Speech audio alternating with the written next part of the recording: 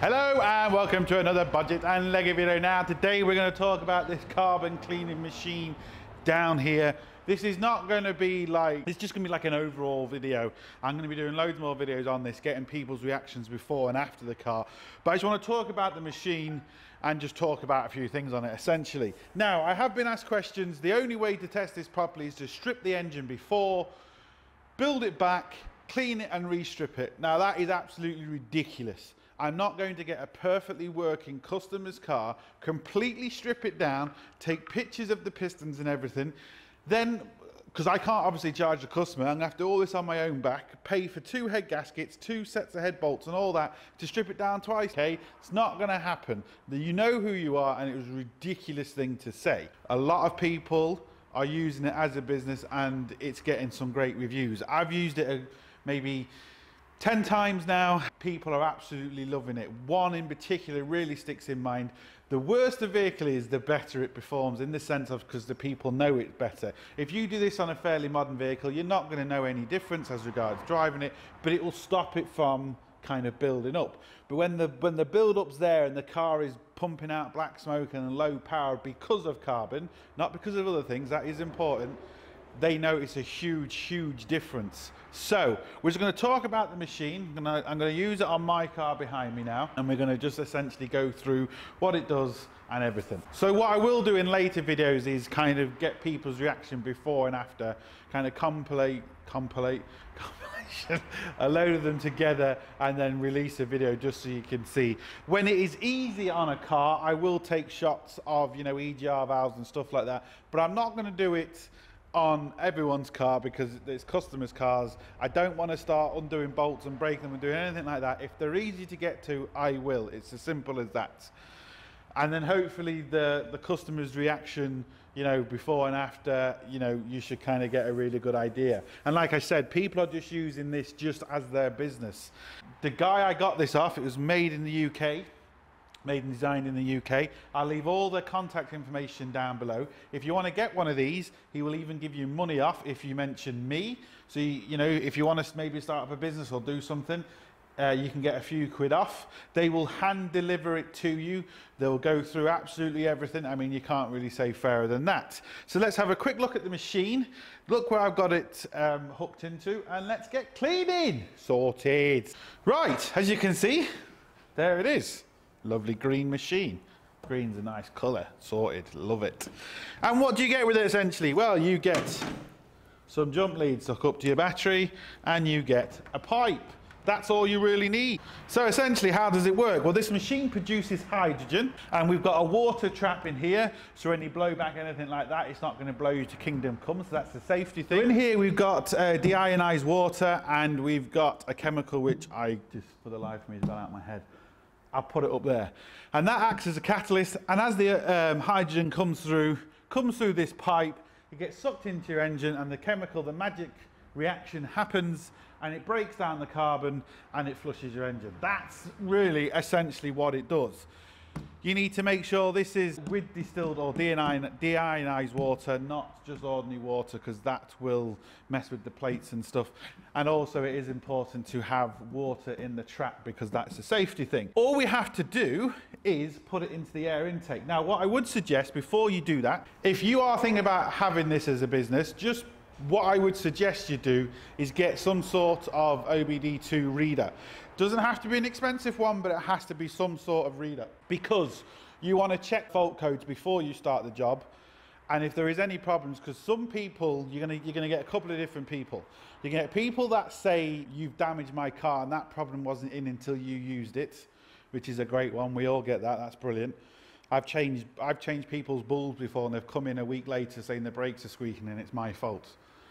Anyway, um, and you're also going to get, when you disconnect certain systems, you might get an, an, error code because of your map sensor or something along them lines. So you want to be able to go back and delete that code after you've finished and then there's no engine lights on. Because that is kind of important. You don't want to put an engine light on and leave it because the customer isn't going to be happy. He th- he's going to think you've done damage to his car. And then the other side of things, you want to be able to show people, look, this fault is in your car. This has nothing to do with me. Do you want me to go ahead with the cleaning? Because believe me, that will kick you in the arse if you don't. You'll be amazed what some people are, are like out there. So just a cheap kind of doesn't have to be expensive, you know, but obviously the more money you spend, the better you get. It's kind of it. And, you know, there you go. And the other thing is, if you do have a fairly good one, well, then you can also, as you're cleaning people's cars, you can also, you know, tell them what engine codes and stuff they've got. So you, you, you will use it. So that's the first thing I would say. Now we're going to get in and we're going to show you on this particular vehicle where I'm putting the hose in. Now on this one, I would normally just take this off and put the hose in here because it's got one of them special clips. I can undo it, but there's no point. So what I'm going to do is I'm going to put, I'm going to just, as I've already done, taking off the bolts, I'm going to put this pipe in, but I'm going to make sure I go past the sensor. You don't want to put it here. You want to go in past the sensor. Now I'm connected directly to the turbo, so you don't want to go too far in because you don't want the turbo to hit this. So this is where I'm saying you might engine lights on. The, the one I did on the Toyota, once I disconnected this pipe, we did get an engine light on because the, the computer was reading funny. It was reading that this was just wasn't working properly, but we could still clean it, put the pipe back on and clear the faults, take it for a drive, no problem. So that's what I'm gonna do. But one thing I have noticed, the actual the, the guy that sold me this Godfrey, he did tell me about it as well. When I've seen some people, you'll see some videos on YouTube, when people disconnect this pipe and they shove this in, they tend to put tape over it to kind of block the hole that you've created. Don't do that because it, when you rev in your engine, you could suck water through the water trap. You don't want to do that. So if you do shove it down this pipe and there is a little bit of a gap, don't worry about it. It's not going to be an issue because it's still pushing the hydrogen through into the engine. So don't worry about it. So that's all I'm going to do is going to put this in, in here like that, feed it through, and I know that's about there now, it's about halfway down that pipe. But before I do that, I just want to show you a couple more things. So what we need to do is, we need to put it on the battery. And as soon as we put it on the battery, we'll turn the machine on and I'll show you that first. So we just turn the machine on. That will turn our little display on, that's the voltage, and we're also going to get the amps coming out of the battery. You do want this to be at least 20 amps. If it's below 20 amps, the machine isn't going to work properly. So you've got a couple of options. And this is the option I use, which is the battery maintainer. Got this from Hobby Tools. So this is also for diagnostics as well. So when you're doing diagnostics, this will put a constant voltage into your battery and it up to up to 50 amps. So this machine will only take up to 50 amps as well. So don't go above 50 amps on this machine. Or you can also get jump leads and put jump leads on another car or put jump leads on this car, kind of give it a boost. But that's what I use, a battery maintainer. So let's just get all this up and working and see what, uh, what's going on. Right, so I've got my battery maintainer on. You want to see if you're producing hydrogen, you just put the thing in some water and all them bubbles is just pure hydrogen. Simple as that. Lovely.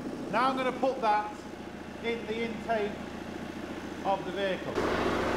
Now this one is a 2.2 diesel, so I'm going to leave it on for around about an hour, even though that's a little bit long, but I'm going to do it for around about an hour.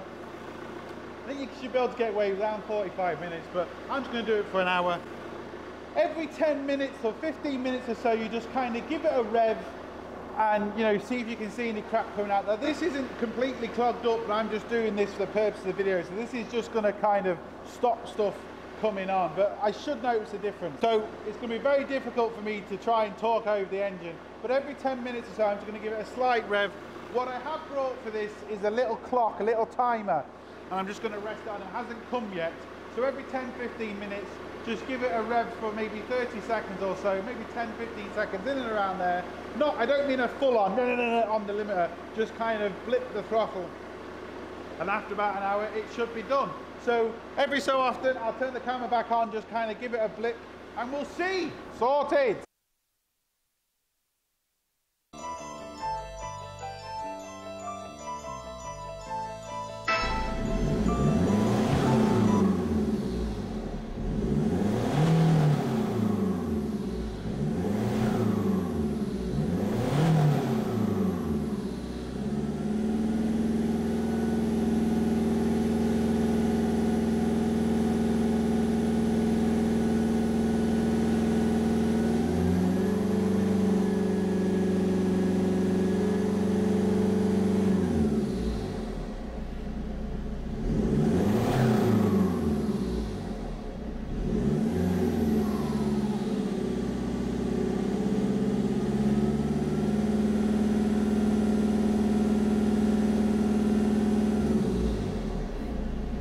Sorted.